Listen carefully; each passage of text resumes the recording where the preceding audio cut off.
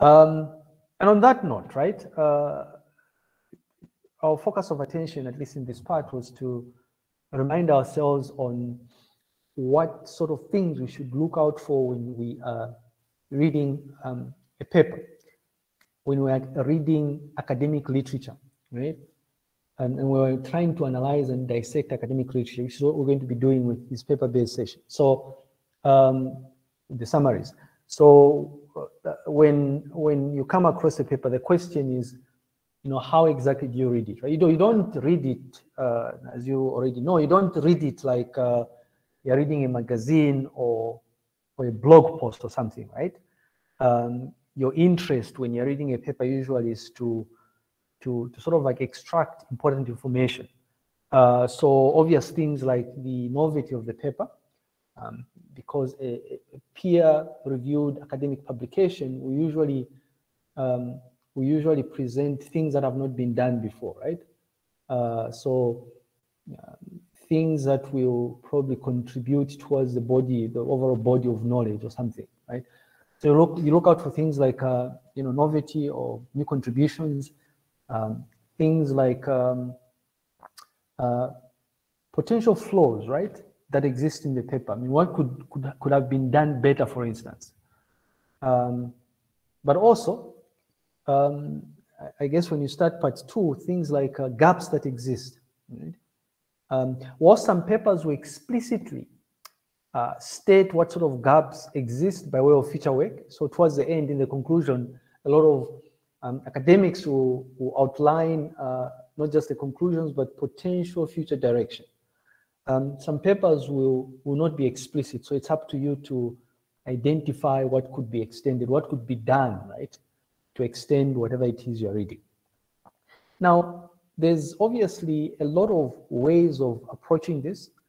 Um, what I've found useful myself is um, over the years, actually, uh, and in fact, I discovered some of these things when I was a graduate school. Is there's there's people that have um, that have actually written papers on how you're supposed to read an academic paper.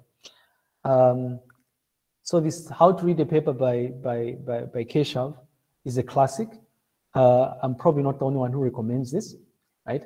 And in fact, most of what we're going to talk about uh, um, uh, in a short while is really focusing on the ideas in this How to Read a Paper by Keshav. Uh, it's a classic. But besides that, you have you have a paper such as reading a computer science paper, right? Um, by Fong. Um, I found that this is, uh, whilst the how to read a paper is written by, I think it's a computer scientist, but but but the one by Fong is really quite uh, specific to computing, right? Um, so if I were you, I would, I would, look up both of these papers, right? So just go to uh, Google Scholar and just search for how to read a paper or something. And reading a computer science research paper, Fong. Um, so borrowing on Keshav's, uh, so Keshav's uh, technique on how you're supposed to read a paper, um, the, the thing here, right, is what, what we're trying to understand is uh, what sort of information do we get from the different, uh, um, you know, structures of the paper you're reading. So a typical paper would comprise of um, certain key portions, right? Obviously, paper will have the title. Maybe we can perhaps just uh, get one of the, the, the papers here so to use it as an example, something we're doing here. So a paper, right? Whether it's a conference proceeding, whether it's um, a journal article or something, it will have um, have a title, right? Um, you have a title, so that will be the um, anyway you have the title, right? Um, and really, uh, if, if, a, if this paper has been written by an experienced academic,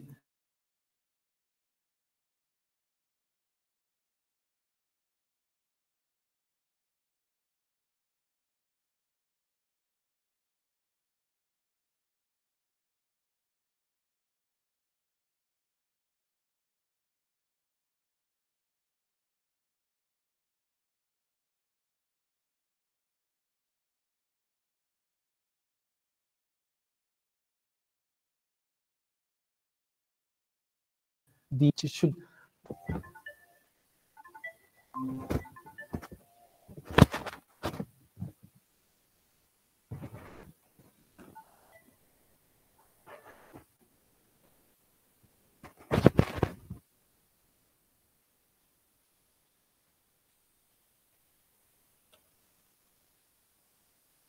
Sorry about that. Um, there was a, an interruption. I think, yeah, I don't know if you can hear me now. Can you can you hear me? I think Paul here is. Uh... Yeah, yes, I can hear you. Yes, we can. Okay. Yeah. Uh, all right. Sorry about that. I think somebody was attempting to get through to me. I'll reach out to them later on. Uh, so you have a title, right? Um, now, some people, some some people will not really craft. Uh, the, some people will tell you that your, your title should be crafted in such a way that you properly market your paper, right? In fact, it shouldn't be misleading. It should be representative of what the paper is about, right? What you did or something, what problem you're attempting to solve. So if, if I'm to go back to this, this example that I gave here, uh, when we're closer to home, I, I, don't know, I don't know what your thoughts are already here on, on something like use of data mining techniques in human resource management. You know, don't know, right? Feature selection using genetic algorithm. Okay. Um, I don't know, you know. So you have a title. I'm not trying to shoot on anybody here, but you have your title. You also have um, your abstract. You have your introduction. You have uh,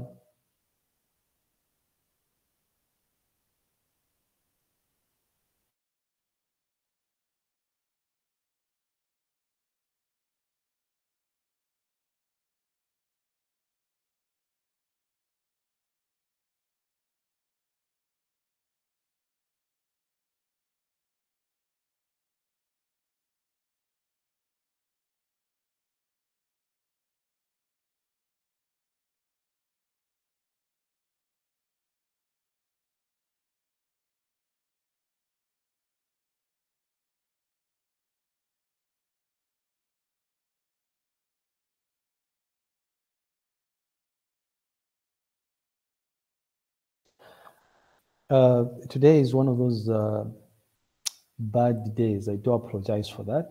And I hope this thing is still recording. Maybe not. Let me just confirm here. Just uh, give me a second. And I think I'm still recording. Yes. Okay. Um, for those of you that uh, do this often, I don't know if you have uh, but so what we use at UNZA is we use the, the G Suite for education. And uh, during the COVID pandemic, what they had done is they had opened up that, that thing, right? Um, that package at least. So one of the things we're able to do is we're able to easily record um, uh, record uh, meetings, for instance. That's no longer the case. So that feature is is gone now. Uh, it's typical of these organizations. They'll lock you in and then ask you to pay money, right? But anyway, that's fine. Um, so you have your title, you have your abstract, which is usually um, a um, people will say it's a summary of the paper. Yes, it's a summary of the paper, but uh, with uh, certain specific key information. So a normal abstract should be able to, to include things like uh, the problem or the motivation, you know, so what problem, what problem we're attempting to solve? Why did you write this paper in the first place? Usually there's a problem, right? So you look at the problem, the motivation, if it's there, um, you look at the methodology, right? So what exactly did you do, right? Usually an academic piece of writing is associated with research, right? So you outline, you summarize the methodological approach associated with what you did, right? Um, and then you have uh, a short write-up about the key results from, um, from, from the research conducted, right? Um, and then the conclusions, right? So all of that is usually packed in, let's say, anywhere between, um, I would say maybe 200 to 500 words, sometimes maybe more, right? Um, there's usually a limit though. Uh, so back to our example here, this would be our abstract here, I guess we have to summarize it slightly. I'm not sure if we've gone above the limit here. So this would be abstract. So reading this, somebody would be able to understand, right? So reading the title may not be, uh, you know, sufficient enough, but reading the abstract will give you a comprehensive idea of what the paper is about. And this is important because you don't have to invest, like in this case, you wouldn't have to invest reading 19 pages, right? Of, in some instances, a really technical paper that requires uh, quite a bit of research for you to understand what it's about. Uh, so you have your abstract, um, and then you typically have an introduction, you know, um, uh, you where you, you, talk more about uh, you talk more about uh, about the problem space you're exploring. This is where you slot in things like um, your, your, your research objectives or research questions, right, associated with uh, with the paper that you you're presenting. I'm not sure. Uh, oh, sorry. If I said 500 pages, um, I, I meant 500 words. Sorry. There's usually it's 500 words. I think. Sorry. Um, yeah. uh, yeah. I, I, that was maybe a slip of the tongue, as I said. It's 500 words usually, um, and these things are usually outlined, right? So if um, to showcase uh, there's something we're doing with um, with um, some colleagues. And I think I think one of the templates we're using is uh, somewhere here. I think is here actually. Um, we are attempting to submit work somewhere. I hope it works out. Are two students that are currently in their second year and they happen to be working on similar problems and so we're trying to see if we can co-write we can co-author something but you notice that in here, right, uh, for this particular venue, they're saying that um, um, that the abstract should not exceed 100 words, you know? Um, so you just, you summarize, in essence, you'd summarize your paper within 100 words. But this is dependent on the publication venue, which is why I provided a range. So it's usually, in this case, I guess the lower bound would be 100 words all the way up to maybe 1,000 words, mostly 500 words max. But anyways, um, so you have your introduction and then you have your related work section, right? Where you you really um, you you you discuss um, existing literature. So uh, things that have been done in the past that are related to the paper. And in most instances, if if if the authors don't explicitly state what the novelty of what they did is, or what their key contributions were, you should be able to figure this out in the related way. Because as part of that discussion, eh, this is supposed to be a synthesis, right? A critical review. Um, a normal related work section will have uh, explicitly outlined gaps, right, that exist in literature. You know, um, in the case of most computer science papers, it's it's not uncommon to have a um, uh, an implementation section um, what you will notice for most data mining papers is that the implementation part is usually, it, it will usually be tagged as maybe model implementation or something, right? Um, or maybe uh, uh, model architecture or something. So this is where you outline um, the, the, the architecture of the models that you have implemented, right? And, and all the things that are tied with your typical data, data, data mining pipeline. So the way data was collected, the, the way data was processed and prepared, you know, uh, what specific estimators did you use, for instance? All of that goes into the implementation. I'm not sure if our example paper has this example of implementation, so this is the introduction there, by the way.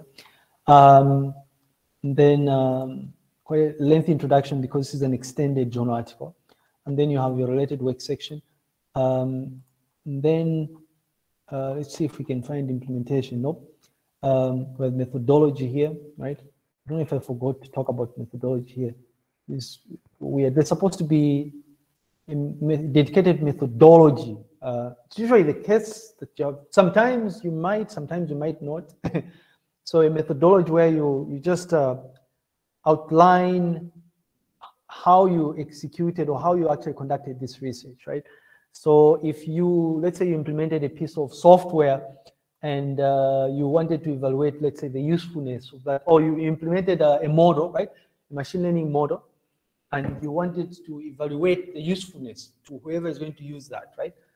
Um, you, you, you'd outline the methodology in a dedicated methodo methodology section. So you, you explain to say we recruited, let's say, 100 participants, and then, you know, we had these 100 participants use our model, or maybe we split them up into two groups. So 50 of them used our, our solution, and then the other 50 uh, performed maybe the same task uh, using the normal way that that task is performed, and then you compare the results or something. So you're outlining the methodology, right? So it's usually tied to the research. And, in some instances, the methodology, the outline of the methodology also include, uh, you know, the, the tools that were used to come up with implementation, perhaps. But anyway, some instances, dedicated implementation section, um, I was trying to see if I could find a dedicated implementation section in this paper. Not really. You notice that in our case, it's embedded within the methodology, right? So we have the methodology section, section three, and then part of this methodology has, uh, I, I, guess, maybe model implementation at some point. But we have, uh, let's see, we have here, right? So we set up, we implemented a prototype uh, uh repository. Um, you know, uh, we conducted a, a, controlled study, right? Uh, I thought there was implementation of the model here somewhere. It looks like we didn't. Uh, it should be somewhere in a dedicated section, experimental design. Oh, there we go, right? So you notice still under is where we're outlining the implementation. In this case, we are outlining a multi-label subject classifier that was implemented, right? Um, so, so what I'm trying to say is uh, this is not set in stone, this sort of structure, this is just a generic structure. Um, and the order might vary. Um, it's not uncommon for you to find people discussing the related work towards the end, right? Which I always find very strange myself. But anyway, so you also have um, a section dedicated to uh, discussing the evaluation, right? In essence, the results of whatever experiments were designed and executed. Um, and then typically discussion of the results. In some instances, you find that um, the results and the discussion are combined. You notice this is what we did in this paper, right? So we have section four, it's results and discussion. It's okay for you to separate these into two, two separate sections. So when you come across a paper that has these two sections separated, uh, there's nothing uh, strange about that. Um, and then of course you have the conclusion, right? Um, in some instances, that conclusion will be, will be tagged as conclusion and, uh, and future work or something, right? So you just you, you conclude uh, or you, you touch on important aspects of what you did. Um, and then maybe include future potential future work or future direction. But uh, in some instances, you find people including recommendations in the conclusion, very common in dissertations but we will not be summarizing dissertations as part of the paper, uh, paper summaries. It's uh, journal articles and uh, conference papers, um, peer-reviewed conference papers or peer-reviewed journal articles, ideally. Uh, so no technical reports, um, no manuscripts, uh, as in thesis, in dissertations. Um, so just conference papers and journal publications.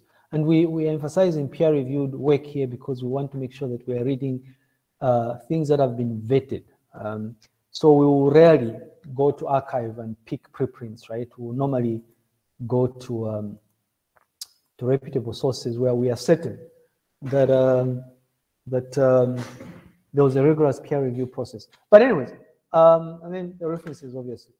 So so the Keshav, right? Keshav is three parts. The Keshav approach here. Um, quite simple he prescribes that you at least go through, not at least actually, saying you, for you to comprehensively understand what the paper is about, you, you go through, you typically go through three passes, right? So in essence, you look through the paper, you read the paper about three times, right?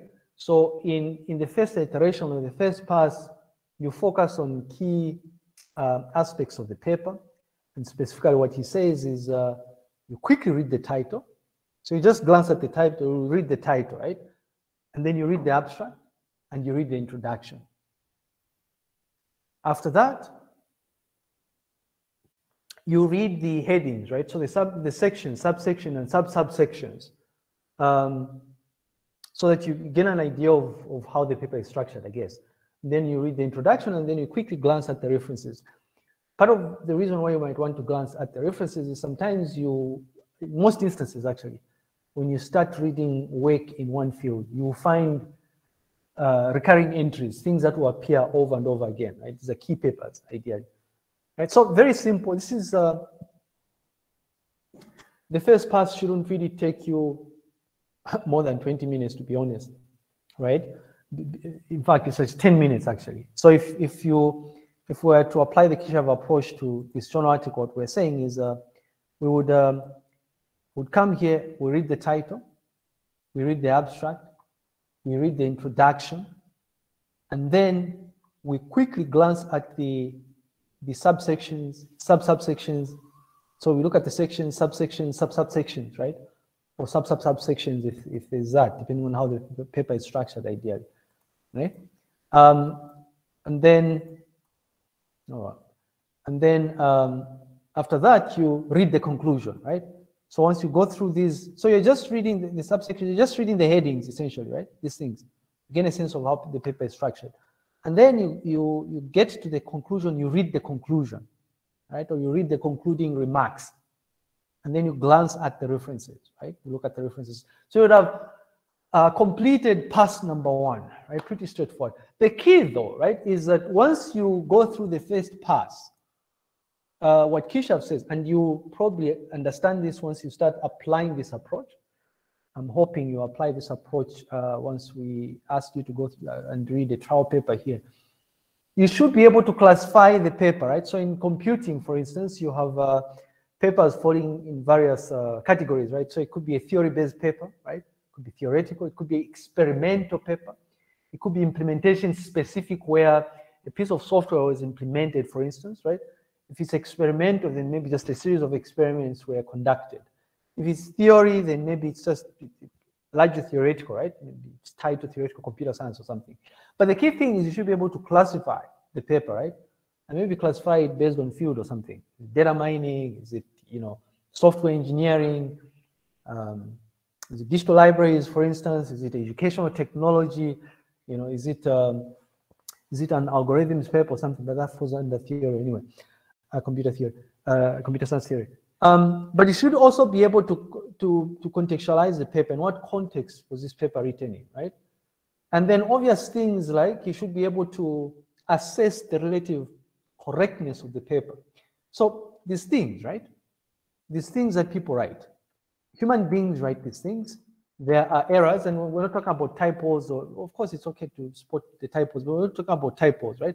We're talking, talking about things like uh, graphs that appear out of the ordinary, right? You look at a graph and you're thinking, oh, there's something wrong here. And, and, and this is how people have been able to identify papers that have information that was doctored. Very common, right? Fraud is uh, quite prevalent in academia, in case you didn't know.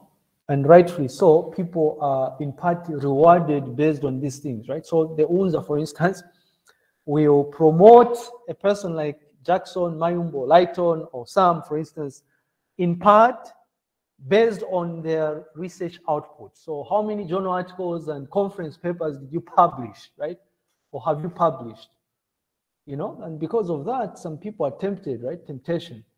But uh, hopefully once they teach us about ethics in, in the research methods course, we'll be able to understand and appreciate the fact that uh, fabricating results is a bad thing uh, people people fabricate things, right? You you look at a graph like this and you realize, no, if only this graph was all the way up to here and coming here, and then you superimpose it or something and you rub off this thing, right? This is what people do.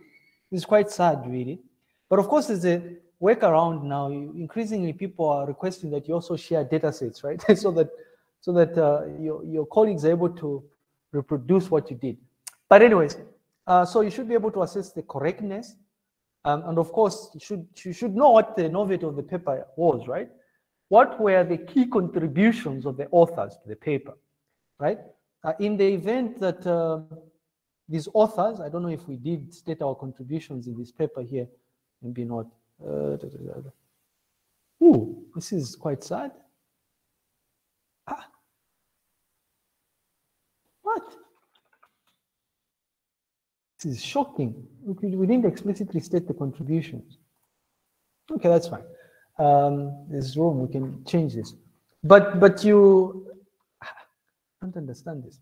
Um, anyway, it's implied, I guess. So anyway, so if it's a paper like this where these authors, right, have, have not bothered to to um, to state the key contributions of, of what they did, then after the first pass, you as, as a person who is skilled at reading academic literature should be able to determine the key contributions of these people, right? Um, and hopefully, um, you should be able to ascertain the clarity associated with the paper. But anyway, so that's the first pass. It shouldn't take you more than 20, 30 minutes. And, and the reason I'm saying 20, 30 minutes is because you're reading the introduction and the conclusion. In some instances, if it's a journal article, it will be a lengthy introduction. If you look at this, right? This is an extended journal article. So you notice that uh, the introduction here, it's, it's kind of bulky, right? We're starting at line number 052 here, all the way, all the way up to here, right? Line number, um, I guess, 124 something. And so this thing is spanning about a page or something. This is two columns, of course. But anyway, that's okay. Um, so pretty straightforward stuff here. And then pass number two, right? So this is the second iteration. Um, when you're doing this for the first time, you don't have to do these passes back to back, right? So let's say you spend 30 minutes going through pass number one and then you immediately go to pass number two. Sometimes maybe you go and brew a coffee or something, or maybe you get back to work and then somewhere around lunch, if you are doing pass one, uh, uh, uh if you are moonlighting, you're doing pass one maybe in the morning at work, pass number two in the afternoon, um, you, you now analyze the floats, right? So the floats would be graphs and you know formulas, equations, uh, tables, right? These all constitute floats, right? So you pay particular attention to things like these, right? Um, and charts actually, images, right? So things like these, try and understand these things. Uh, do you have floats? Do you have uh, no equations here, but tables, right? These are all floats. You look at the tables, the table captions, the contents of the tables, um, the plots, right, or graphs or charts. I don't know what they call it. It's a plot though. Um, you know, if, if they are code snippets, not, this is not complex code here. This is just meant for illustrations, basic XML. But there are some papers that will have um, complex code snippets, right? Algorithms, for instance, right? So you look at all those things, um, you know, uh, all the graphs. Um, and then you you take a note of key references, right, that you haven't read before. Remember in pass number one, you're just scanning through the, uh, the references, the reference list. After you scan through, what you do is you take a note of the references that you haven't read before. So if it's a, it's a paper like this, you go to the reference here, right? You notice that we have quite a number of references. So as you're reading this, um, you, you start taking note, oh, have you read, uh, have you read this classic, you know?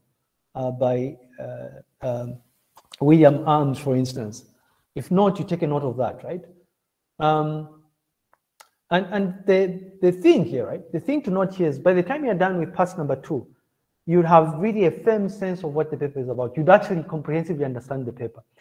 And I don't know if it's Keshav or Fong uh, will say that uh, you'd have gotten to a stage where you can maybe, hopefully, replicate the paper, right? You, you can do what the authors did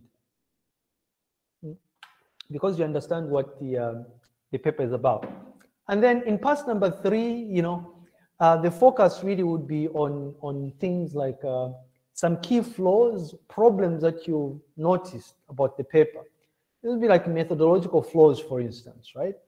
Um, things to do with experimental design. So somebody tells you, oh, we, we did uh, a within study uh, experiment, it was quantitative in nature, and then all of a sudden they tell you to say, well, we we recruited uh, five participants. And you sit there and you say, wait a minute, right? If it's a quantitative study, how is it that you you only recruited five participants, right? Things of that nature. So the focus here really is you are looking for flaws. There are always flaws in papers, right? Almost always, you know, depending on the venue anyway. and we're not talking about typos here. Of course, it's nice to identify typos, but uh, important things that have implications, right, on on the conclusions of the paper. You know, because if your methodology is flawed, then you you start asking, well, can we generalize the outcomes then? You know, um, can we reproduce what you did or something? Uh, sorry, I'm going to pause here and just ask if people are still with me and if all of this is making sense. If if this has been done before, uh, if you've done this before elsewhere or something, I'm interested in hearing people's thoughts about this. I mean, we're done with the Keshav, Keshav approach. I don't know if people have questions about this.